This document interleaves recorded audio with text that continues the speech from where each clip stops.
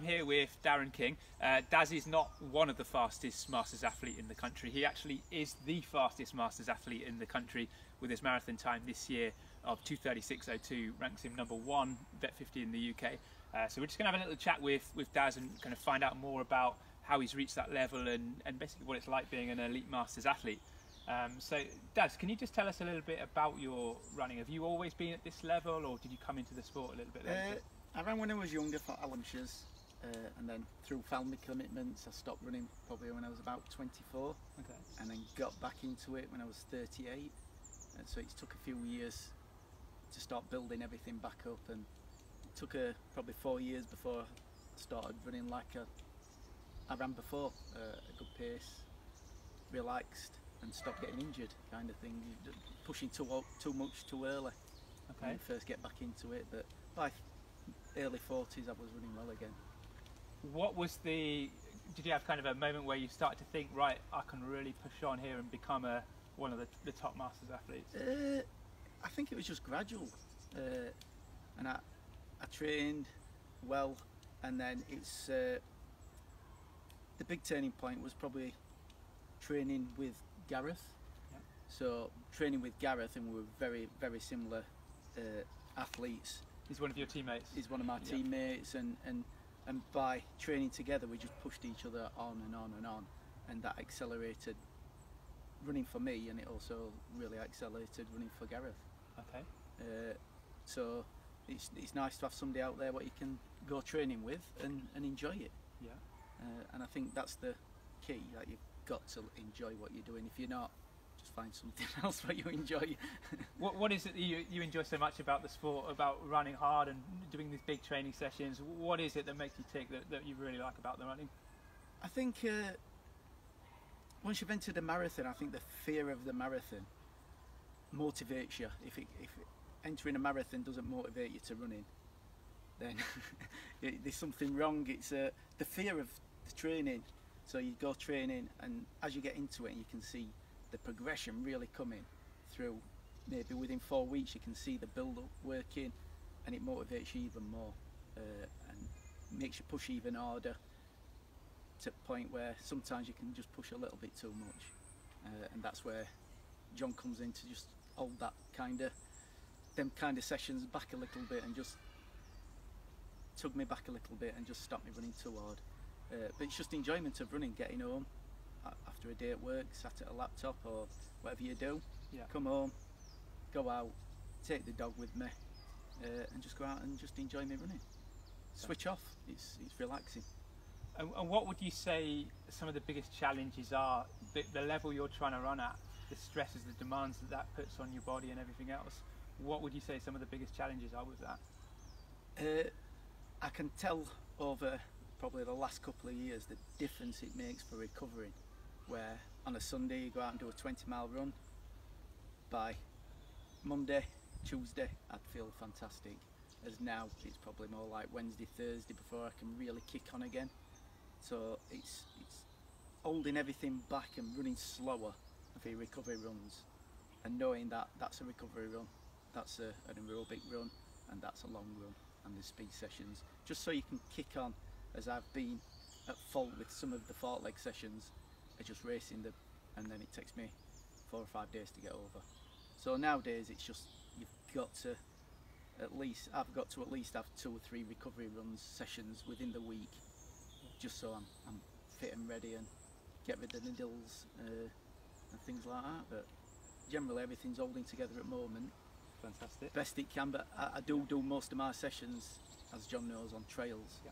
So I rarely do any any on tarmac, which I think is a massive help to to to my age and and my muscles and my bones kind of thing, Keeping them in one piece. and keeping them in one piece. Yes. And, and what about the challenges of just logistically of, of training at that level versus you, you've obviously you're still working, you've, you've got family and, and commitments there.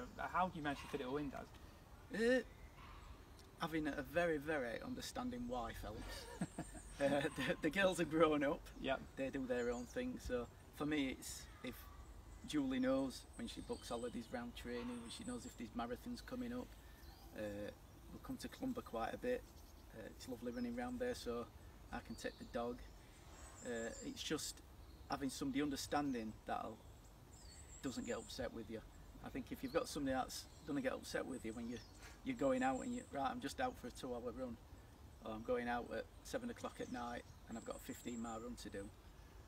I think uh, it's a massive help, So- and having somebody behind you to that appreciates what you're doing and, and realizes the enormity of it as well. Big shout out to Julie then. Big shout out to Julie.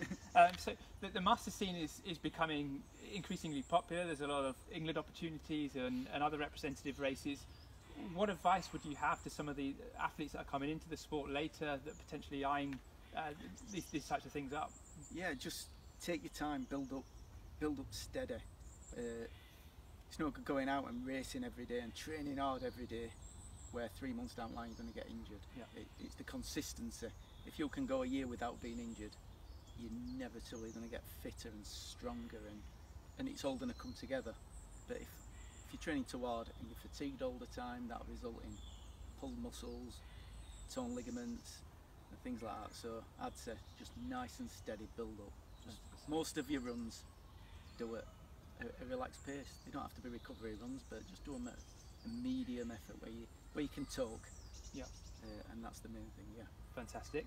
Um, so 2017 you were first vet 45 in London. 2019 this year first vet 50. 236.02 this year. Very very very solid time. Tell us a little bit more about about how that went that day and the, the kind of the build up you had with it. Uh, the build up, we had a fantastic build up. Uh, I didn't start till later, which normally start a month earlier, so we're a bit behind, a bit fatigued when we when we got to the day. Uh, and about 13, 14 miles, you know you're starting to work at that point. I went through 18 thinking, "Oof, I'm, very tired. And then when I saw the split at 20 miles, I thought, "Oh, probably not going as as bad as a, bad, bad as you think you are, and it's just to keep pushing and pushing and pushing.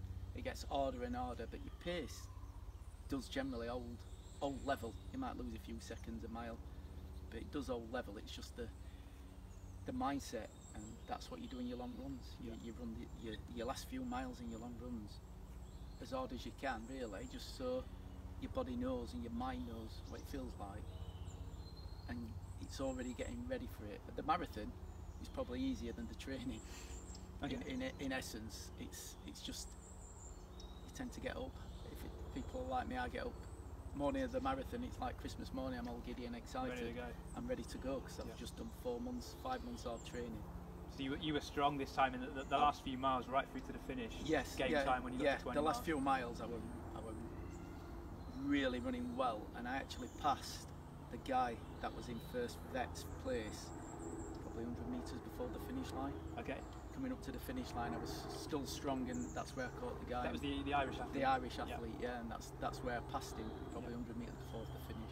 Fantastic. I didn't realise, but John John let me know straight away. So a, a- a few months on, so you're, you're ranked number one, 236. You're a couple of minutes clear at the top of the rankings. What's what are your targets now? What still motivates you, Daz? So at the moment now, uh, we in training for and, and set a good schedule together now for York, which is the Masters race. Yep. So to try and chase an England vest, and hopefully get knock a couple of minutes off, no, another two or three minutes off what time we've already got. Uh, coming straight off London, had a few weeks easy, and then we've put a few races in, and it seems to be falling into place where this year I've probably started off 80% fit and we're just picking it up now. We've got eight weeks left, so we've just had a tired week, so it's all just start coming back again this week, as it always does through schedules. Uh, so it's the Masters at York now, just to try and chase an England vest. and see how it goes. It's uh, as marathons are. You can have a good one, you can have a bad one. It's you put all your eggs in one basket really with a marathon, and it's not a lot you can do if it's not not going to be a good day. But we know at the moment really fit at the moment, so it's just holding it together for the next eight weeks, making sure we don't go over the top. Yep. Uh, and we're, we're ready to go. Fantastic. So top masters athlete in the country, had a fantastic year. All eyes on Yorkshire. You're inspiring a lot of people. Daz, thank you very much for your time. Cheers.